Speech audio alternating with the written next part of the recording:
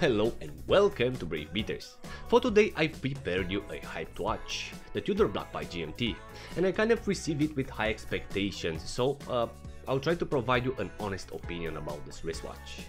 Because in reality it's different, but I don't want to spoil you the joy to have your own conclusions, so let's check it out together. Tudor in red and black is a very well articulated brand with its own identity, still people choose to associate it with the gold-green father brand, Rolex. That firstly it's happening because of the same owner who made them, Hans Wilsdorf. He made the Rolex for the passion to be the brand that aims high, to be on the wrists of important people and high-ranked persons, where Tudor was created with the regular people in mind, to be a durable and worthy watch for everyone. Still in the 50s, when the job role as a diver, explorer or underwater welder became official, both brands started to create diver watches with rotating bezels and this is how the Submariner and the Oyster Prince Submariner were born. The Black Bay 58 appeared in 2018, in the same time with another welcomed watch, the Black Bay GMT which I previously owned. Still on the 58 model Tudor invested a bit, making the movement smaller to fit in a smaller case. So the intent of the product was to pay homage to the Tudor Oyster Prince submariners from the 50s and 60s. In this regard we can spot the specific 50s golden accents of the dial. And the small Tudor was very welcomed by the watch enthusiasts, being the most desired case dimension of Tudor due to the small sizing trend and the association once again with Rolex, the not so affordable brand. And at the first sight, what do I think? Well, it's cute, has everything there, the indexes, no date, hands, gold, red, steel, a complete package, every influencer will say. Still, I am honest with you and I will say, it does not look necessarily premium, in reality it has a faded personality. It sits very well on the wrist, it's thin, classy, and it's somewhere between a tool watch and a dressy piece. And yes, it costs 3000 euros on a NATO style strap. And as an investment, it's still desired. Looking at Chrono24, the trend seemed to increase on the bracelet version. And by the way, there is a blue version that is decreasing in trend, but in this case, I'm pretty sure you know why. The simplicity of the case can work for some, but I'm not a big fan of the Black Bay simplified oyster case. A sharp case, a bevel and that's pretty much it. As for the strap, this one comes on a NATO style strap, but I strapped the 58 on my preferred high-tech bamboo leather strap from 7 Friends and Watches, that communicates very well with the golden accents, and I do like it. And if you like it, you can find the link to the strap on the description of this video. And even though the chassis, the case of the Black Bay is dull, the quality of the polish compared to the Rolex Submariner is good. We can spot that there is no major difference between them, on the brush part as well. And the oyster steel used on the Submariner is a bit darker than the smaller BB58. So the dimensions of the Black Bay 58 are the following. The 316L stainless steel case measures 39mm in diameter with a height of 11.9mm, where the lug tip to lug tip it's only 47.7mm with a 20mm lug, so great sizing. On the top we have a boxed sapphire crystal with anti-reflective coating, a screw down crown, a solid case back and a 200 meter water resistance, having the smaller caliber MT5402 that works in COSC tolerances. So on a positive note, if you spend a bit of time with it, it is indeed a watch made by Tudor, a reissue after the iconic earlier subs.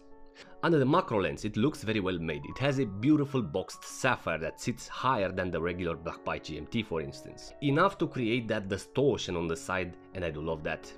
The bezel, even though it's ordinary, I mean, it looks common with other divers on the market, the numerals are not perfect painted, they look like the older model and I do love that. And on top we have the iconic Submariner red triangle that was used on the first models and it's outlined by the coinage bezel that interrupts somehow our beautiful 50s Submariner dream, projecting us back on year 2021.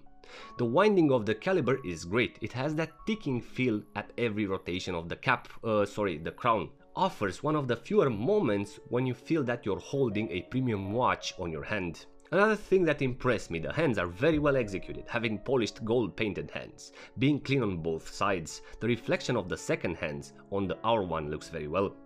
And the surprise is definitely the lume, very very well applied on the symmetrical indexes, having a great intensity, similar to Seiko's I would say when ignited, and unlike the Black Bay GMT which wasn't that bright. On the bottom part we have the text painted in gold as the indexes. Possibly this is one of the elements that makes it remain muted or not stand out overall. I think the gold applied on the minute track on the outline of the indexes plus the hands and the texts are combined with the ones from the bezel and it does not offer a clear contrast either to the bezel or to the dial. You know what, let's redesign the watch entirely now. So I will quickly make a BB58 proposal to see how we can create an identity for it.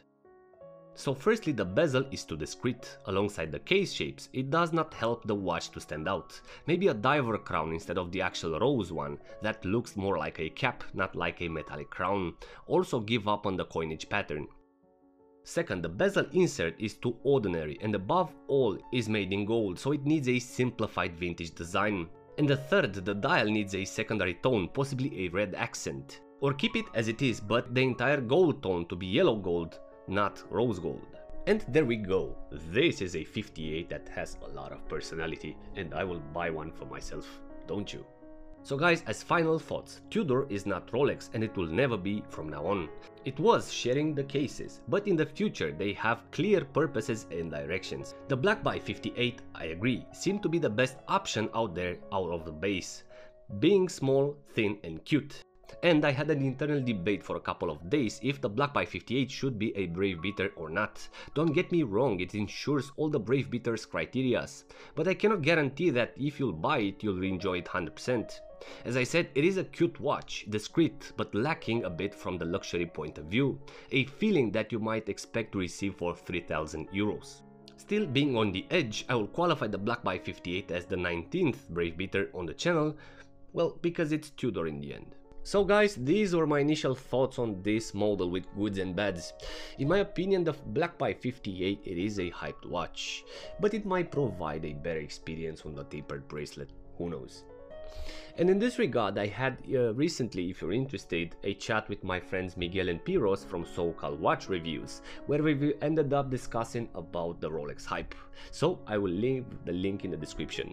And until next time, be brave but Stay safe.